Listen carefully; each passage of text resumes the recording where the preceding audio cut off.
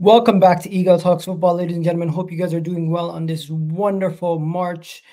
It's a, it's the first day of March, and you know what? We're gonna miss February because Arsenal was undefeated in February. And shout out to all the people watching, be it rivals or be it Arsenal fans. Let me know where you're watching from in the world right now. Do me that favor, hit that like button also while you're at it. But before we go any further, today on this video, we're going to be discussing and learning a little bit about Arsenal's three men target sorry arsenal are lining up a three-man striker shortlist and it doesn't have the initial names that we thought it would have so let me just break down who these uh, some of these guys are. First of all, Ivan Toney will not be featured in this short list, and Victor Osimhen from Nigeria also will not be featured in this short list. So we're going to discuss who's going to be featured in this short list. We're going to be discussing who Mikel Arteta is interested in, and we're going to talk about the age, who they are, and if I personally would be interested in them as an Arsenal fan myself. So before we go any further, hit that like button, hit that subscribe button, and if you guys don't know, today's video is sponsored by SofaScore. So make sure you guys check out the, the title sponsor of this video. I'm going to drop a quick video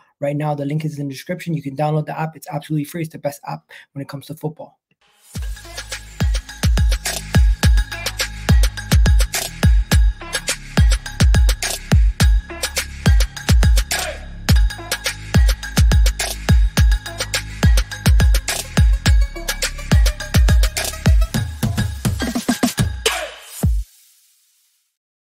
So there's three strikers that we're going to discuss. We're going to discuss three strikers, and I'm going to introduce those strikers to you in a second. But before we go any further, make sure you guys let me know uh, who you would want before I try to sway your opinions. I don't want to sway your opinions on anything. So I'm going to ask you guys. There's currently the Victor Osimhens of the world, the Ivan Toneys. There's so many different strikers that Arsenal have been linked to, but the person we're now being linked to. I have some of the guys that we're now being linked to, I'm not the biggest fan of, to be fair. We're being linked to three strikers that are all different ages and all different size, but generally the, around the same size and have a similar build. But let's discuss. First, we have the man from Eng- who's currently playing England for Brighton, Evan Ferguson. Evan Ferguson is 19 years old, playing currently at Birmingham, uh, sorry, at Brighton Hove Albion. His current numbers this season, he has six goals in 24 appearances in the Premier League, and they're saying that he could be the next big thing. The Irish footballer is touted as the next big striker to come out of Ireland. Then you go to next, you got Sesko, uh, you got Benjamin Sesko. Benjamin Sesko is 20 years old, currently playing in the Bundesliga for RB Leipzig. Formerly was playing for RB Salzburg, if I'm not mistaken. He's a Slovenian for international, and this this man is very tall, and he is a goal scorer. This season, though, not going as well as as the previous season at, at, Salzburg, where he scored 16 goals. This season at, at RB Leipzig, he's only scored seven goals in the league. He has contributed to two goals in the Champions League and two goals in the Cup. So in all competitions, quite fair. He has 11 goals. Not too bad, to be fair. But then comes the next one. This is the one that everybody has on their lips right now. Chelsea are after him. Arsenal are after him. His name is Vikor uh, sorry, I'm struggling to pronounce his name. Let me figure out how to pronounce his name. One second. It is Viktor Gyökeres. Gyökeres. I'm sorry, I'm struggling. To, I, I forgot how to pronounce his name. I literally watched like 100 videos on him just a couple minutes ago. He's 25 years old. He's one of after Harry Kane and Haaland, He's the striker who has the next most goals in Europe. This season, he scored seven. Uh, he scored 17 goals already in the Portuguese league. He scored five goals in the Europa League. He scored three goals in the Cup, giving him a total of 25 goals. Only Harry Kane and Erling Haaland are even close to those numbers. He has the third most goals in Europe at this moment in time. So those are the three strikers. Now, first things first, Arsenal have cooled their interest in Ivan Toney and are not interested in signing Ivan Toney. That is a heartbreaking move for me. Unfortunately, I wanted Ivan Toney, but we are not going to get Ivan Toney. So forget about Ivan Toney. Now, Victor Osimhen wants Chelsea. Reports coming out yesterday that Victor Osimhen wants Chelsea, and I have a video that I can play for you guys to prove to you guys that Victor Osimhen wants uh, Chelsea. If I'm not mistaken, his agent is a former Chelsea player, and he has come out on record on record. Uh, what's his name? Uh, but yeah, so Ben J- uh, Ben Jacobs did a video yesterday with um, former Chelsea legend and current manager of Victor Osimhen, and he had this to say. Let me show you guys what he had to say. Is that a challenge with this new Chelsea project that it is youth led? In your day at Stamford Bridge, there were leaders everywhere. Now, perhaps not so much. Perhaps not so much. Asetin Makelele was sitting here just now. Uh, somebody that I learned so. I don't think that's the video that I, that I'm speaking about. Let me see. I'm still his agent, trying to get him to Chelsea. so I've got 20% of that deal. Let's hope it works out.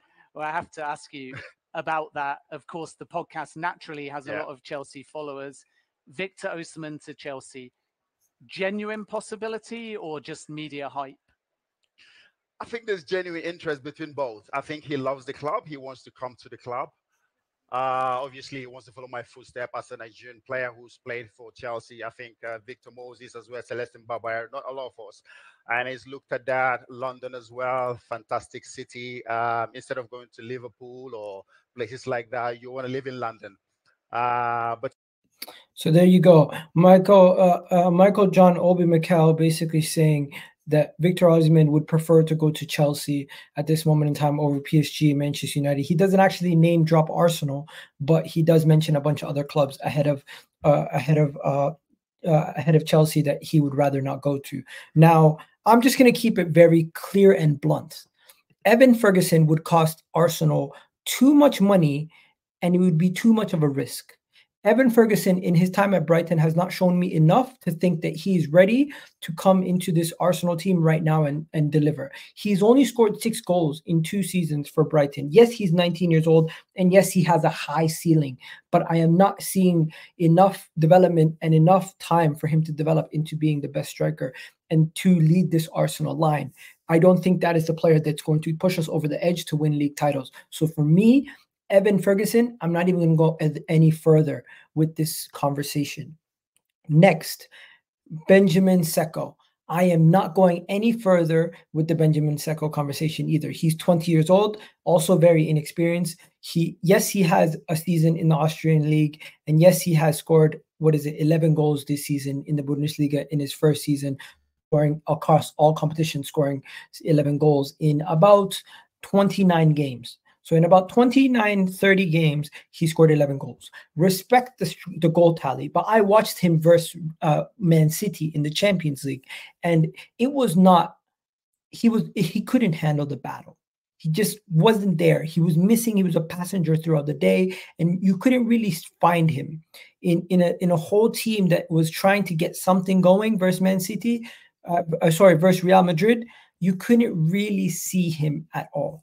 So sorry, I don't know why I meant I, I meant to say Real Madrid, not not a thing, because of course they played Real Madrid in the first leg where they lost one 0 Sesko played a big part uh, in that game and didn't really didn't really show me much to make me think like we need to go sign this guy. Didn't really show me enough. He actually picked up a yellow card in that game.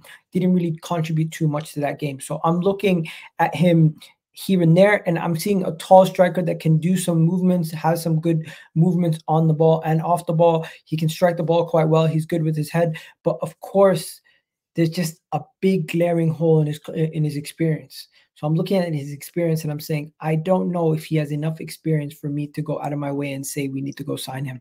Also, he doesn't get many assists. He doesn't really, he might link up and do some passing. He does a lot of good defensive work, but I don't see the a creative side of his game also. I don't think he can just get you a goal out of anything. So that's from what I've noticed from Benjamin Sesko. Now, the guy who is most likely the hottest link to Arsenal at this moment in time is this man right here. And I'm not going to act like I've I know much about him. I literally learned about him today. I was I was scrolling around TikTok sorry, I was scrolling around TikTok and I and I and I and I see I came across a bunch of videos about this guy. And I'm just going to try to see if I can find you some of these videos. Like there's just so many videos about this guy scoring ridiculous goals, doing crazy stuff. And majority of the people are just talking about him like this right there. And, and when it comes to this man, he's 25 years old. He's a Swedish inter- international. Chelsea are interested in him. A lot of people are interested in him. He formerly played for Coventry City and scored a lot of goals. Let me give you guys a little bit of his quick resume. This is a man who played for Brighton, didn't really do much. He played a total of four league games, uh, four games for the Brighton, and he only scored in the cup. and he assisted also. For Swansea, played 11 games, didn't do nothing. But when he went to Coventry, is where he really found his feet.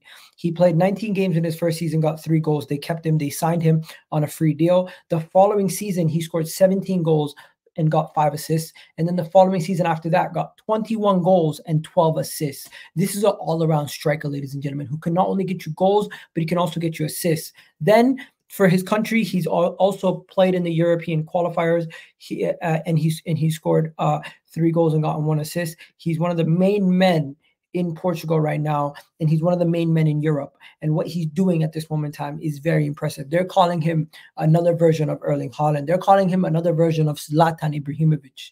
Now, I'm not going to gas him up too much because personally, for me, I, I still hope that we can go sign a more proven striker like the uh, like the Ivan Toney's or Victor Osimhen's. But it seems like this is what the route that we might go on. So I wouldn't be surprised if this was our number one target going into the summer. If this this gentleman was the number one guy, and personally for me, if if I had a choice between Evan Ferguson, Sesko, and this guy, I'm taking him all day long. Vic, Vikor uh, is much better than these other guys. And he's already shown this season what he can do in the Portuguese league. Now, let's see if that can translate into the Premier League because the Portuguese league's football has translated well in the past to the Premier League. For example, I can give you guys Cristiano Ronaldo. For another example, I can give you Bruno Fernandes. These are players who came directly from the Portuguese league and embedded themselves into the Premier League like that. So, I leave you guys with this. Who do you think Arsenal should sign as a striker? would you be underwhelmed with the potential signing of however you pronounce this guy's name? I struggle with his pronunciation. Sorry for the unprofessionalism. And of course, I did find one video that I might want to play for you guys. I'll tell you, Haaland, I would only place at the moment, I would only put one striker above.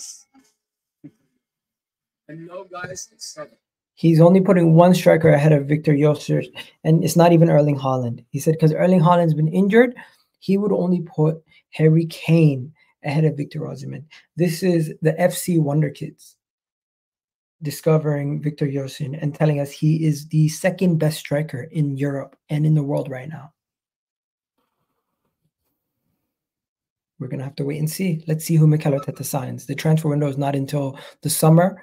It's March we're going we're jumping the gun a little bit but hey this i hope you guys enjoyed this video i hope you guys understand that this is a brief breakdown and i don't i'm not going too in depth and honestly you let me know Sesko, ferguson or Vicarioso or Jorgensen because Ivan Toney and Victor Osimhen look like they're out of the picture. But hey, I'll leave you guys there. You guys have yourselves a wonderful day. I'll catch you guys later today on my next video. I'm going to be doing vibes from the six, and I'll catch you guys later. Peace.